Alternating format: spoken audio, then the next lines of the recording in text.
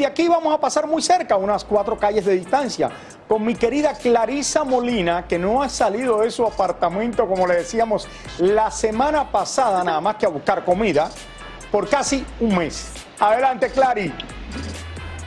Eso es correcto, Rally. Hoy estaré al balcón a ver si te veo por aquí, pero obviamente tu edificio queda detrás del apartamento, así que no te puedo ver, Raulito. Y así darte un abrazo a la distancia, por lo menos. Pero desde aquí te, te mando un abrazo y a Mili y a mía, señores. Pero bueno, Raúl, déjame ver si yo te veo desde aquí, porque tengo que pasar a donde ti ahora. No, no te veo, Raúl.